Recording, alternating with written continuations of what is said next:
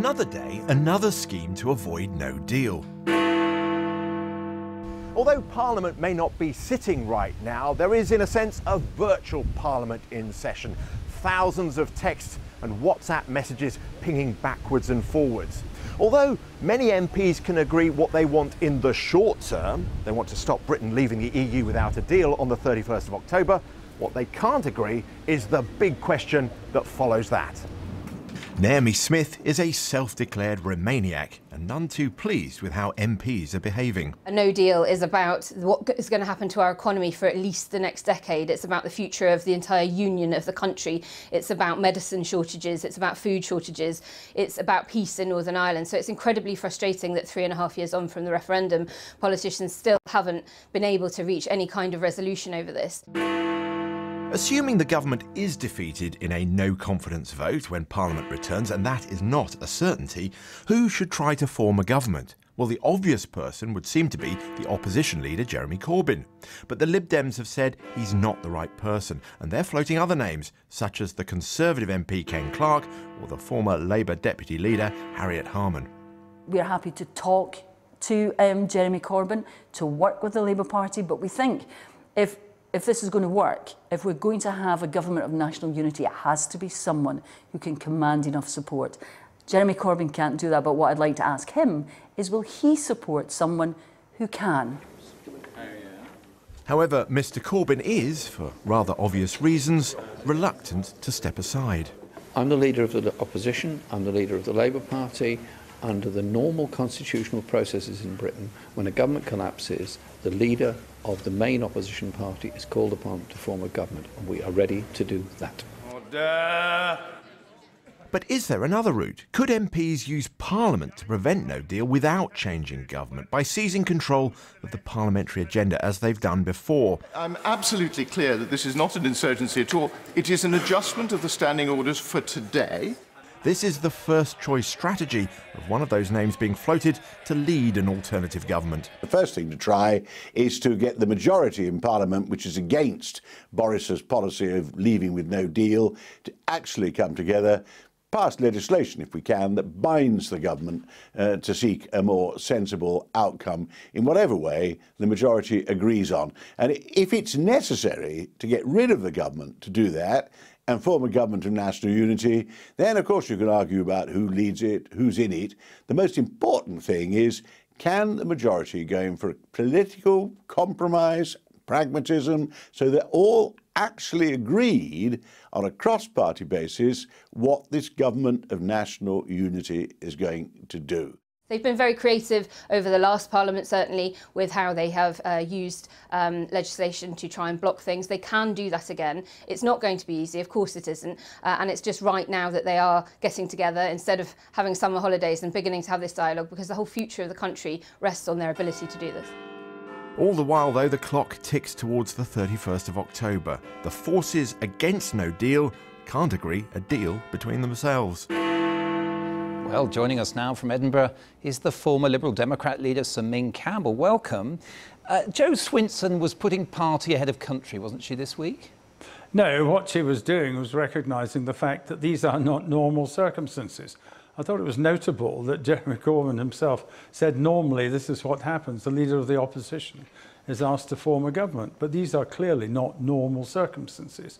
And what she was saying in essence, because we're talking about a government of national unity, which political figure is best able to create the necessary unity in order to carry through the efforts to ensure that we do not crash but, out of but, the European Union on the 31st of October. But he's the leader of the opposition. He gets first dibs. I mean, that's the way it works, isn't it? Well, in normal circumstances, he would, but these are not normal circumstances. And of course, as was pointed out, I think by yourself uh, a moment ago, it's by no means a done deal, this. And that's why putting together uh, a group, uh, a movement, if you like, of people who are willing to be united behind a respected, independent, experienced figure, like Harriet Harman, for example, uh, or Kenneth Clarke himself. That's what you've got to do in order to ensure that you get the motion of no confidence through the House of Commons. And if, as we all expect, these matters are going to be the subject of very considerable effort by the existing government to try and thwart them.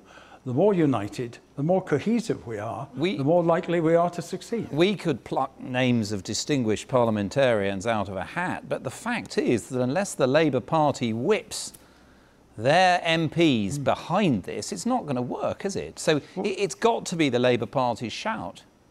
Well, in normal circumstances, yes. Uh, but even where at the Labour Party shout, you're quite right to say there are some Labour MPs who may, who may find it very difficult to support an effort of the kind that we're discussing. But that's a given. But the chances of putting together a sufficiently representative government and a government which uh, carries at its head someone who has a capacity for unification will only be improved if it's someone like Harriet Harman or Kenneth Clarke, or even Yvette Cooper, who, of course, uh, Kenneth Clarke mentioned himself in but, your introduction. given the very tight deadlines there are going to be when Parliament reassembles, isn't the simple fact that it really has to be a case of does Jeremy Corbyn move a no confidence vote? And are you going to say that keeping him out of Downing Street is more important than stopping a no deal Brexit? No, I don't say keeping him out of Downing Street is the right. I think you're looking well, at this through the wrong end of the telescope. Well, get in behind the question, then. Well, the question is, how can we assure, best assure the success of a motion of no confidence? He's got to move it. That's quite true. He'll have to make the speech of his life when he does move it. That's also true. But the question is, in the 14 days that follow, whom can we get to lead the government who is best likely to be able to assemble a majority which allows the monarch to say, I'm going to entrust you with the responsibility of governing the country. And realistically, do you think it is someone like Harriet Harman or Yvette Cooper, being from the Labour side of the House, that is more likely to garner the support of that critical mass of Labour MPs? They are well, still the big guns in this, aren't they? Yes, of course they are. And I think you're right. And I think also, if I may say so, there's never been uh, a Labour female uh, Prime Minister, and it would be an opportunity for someone like Harriet Harman, who has, of course, a long and distinguished record in the House of Commons, to be given that responsibility. She's well capable of discharging it. Do you have any soundings that lead you to think that Harriet Harman or Yvette Cooper would be more able to garner that critical mass? than Jeremy well, Corbyn? I, I mean, is it just on the basis of opinion that you think they're more acceptable? Uh, well, I'm not privy to the kind of intimate discussions that uh, Jo Swinson may be having. But what I'm quite certain about is that both of these are highly regarded. They're outstanding parliamentarians in their own right. They've been cabinet ministers, and indeed Ken Clarke fulfills all of these criteria himself.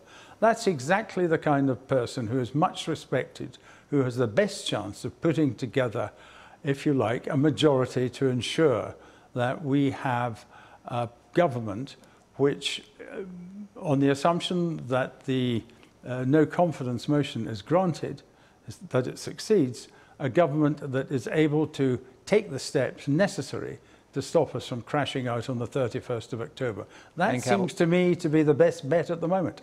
Ian Campbell, thank you so much. So is the Remainer opposition destined to implode if it can't bring together a critical mass of MPs behind it. Tom Newton Dunn is the political editor of The Sun, and Sonia Sodha from The Observer also joins us now. Sonia, do you think, given everything we've already heard and, and you've picked up from your contacts, there is a viable pathway still for Jeremy Corbyn to stop this?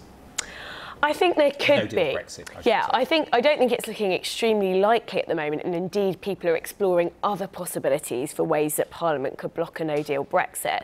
But I think there is still a chance. I think we've we've seen Jo Swinson row back slightly in recent days what she said when Jeremy Corbyn first made his offer.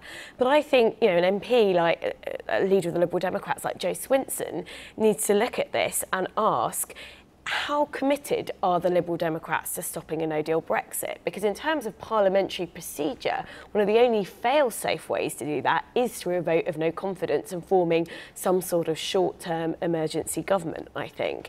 And um, I think, you know, the fact that she said first of all, no, we're not even going to sort of talk about this with Jeremy Corbyn, does raise questions. How serious are the Lib Dems about this?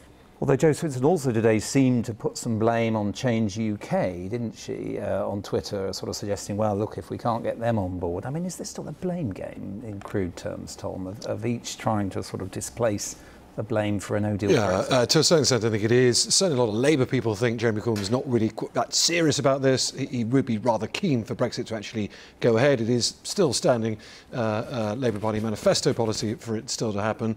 Uh, and there's a lot of jockeying for position, trying to get the, the moral high ground. Interesting. I think actually Jo Swinson's going to win this sort of great big, you know, tussle with Jeremy Corbyn because the fact of the matter, she's got the numbers on her side. So what happens? This goes to a confidence vote. Uh, Boris Johnson may well lose that. Then have 14 days to, to pick someone who might be able to replace him. So still a massive might because these are still ferrets in the sack.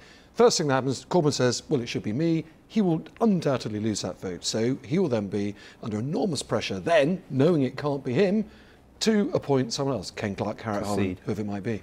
How many Labour MPs are there, do you think, who couldn't bring themselves to support Jeremy Corbyn in this, in this kind of role as the caretaker Prime Minister leading the country into an election? Well, I think there will be quite a few who in their hearts will feel sort of very reluctant to do so. But at the end of the day, it's very difficult if you've got Jeremy Corbyn putting himself forward for a, if a Labour MP doesn't support him leading a short-term emergency government on the terms that he set out in his letter. I mean, I think voters have got the right to ask, what, what on earth are they doing in the Labour Party? I don't, he won't need any lack of Labour MPs to, to not do him. They're interesting. There are 15 different independent MPs uh, in Parliament at the moment, so, and they're all added up on the opposition side. of the Parliament. Well, most of them used to be Labour MPs, you know, Change UK sorts or uh, angry uh, pro-Brexiteers, and none of them almost certainly will vote for Jeremy Corbyn for very good reason. So far, we've we've just given attention to this. Uh, the, the, mechanics, I suppose, of a no confidence vote, and then can Jeremy Corbyn get the votes or a another? Mm. But is there another path? Is, is there the sort of procedural Grieve Bercow, or let's find a way to, to do this without a no confidence vote? Yeah, there is. There's the legislative path, which is simply commandeering the order paper. Uh, the government tables legislation and passes it. There is a way, and it's happened before, earlier this year, uh, to, to table your own bill if you've got enough MPs by and a complicit Speaker of the House of Commons, and uh, John Bercow certainly is one.